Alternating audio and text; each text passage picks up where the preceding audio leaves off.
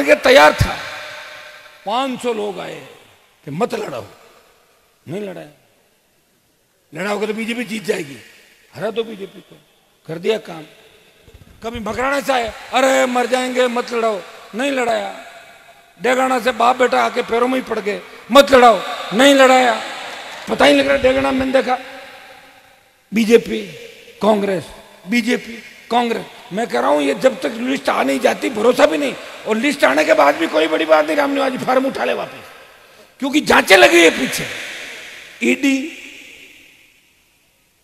302 भी है। तुम्हें पता है सारी बात? मैंने बोला नहीं इतने और कोई ये सोच ले कि हनुमान जी को डरा के राजनीति कर लें उनकी गलतफहमी है। मैं मोदी और अमित शाह से नहीं डरा, उनकी ईडी सीबीआई से नहीं डरा।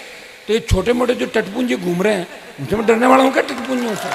इनको इनको रगड़ के रख दूँगा नागौर के अंदर। अठारह में, तेईस में चटनी बना दूँगा इनकी, हर जगह है। आप चिंता नहीं कर। और एमपी चुनाव में तू हनुमान बेनीवाल जब गठबंधन करके, वहाँ पीसी करके सीधा मेरे घर आया था, और मेरे और मेरी घरवाली के पैर पकड़ के बैठा था कि जब तक आशीर्वाद नहीं मिलेगा, तब तक उठ के नहीं जाऊँगा। मेरी मदद करो। और तेरी मदद की हमने। इसके कारण तो बीजेपी से गठबंधन हो गया, जब ज़िंदा रह गया नागौर ज़िले में, नहीं तो अब की बार तेरे को पता चलेगा चुनाव क्या होता है। और तू बोलता, आरएलपी है, नेता बनाने की फैक्ट्री है। आरएलपी सिर्फ़ और सिर्फ़ नौजवानों को मुकदमे लगवाने की फैक्ट्री है तेरे पास। कर। और अब की बार, जो भी बात तू कहे, मन से कहना, मैं उसका जवाब देने के लिए तैयार हूँ।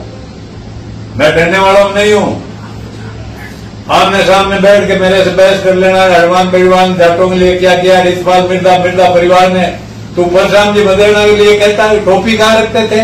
कितनी होती बात करता टोपी वो सर पे रखते थे, और कहा रखते थे?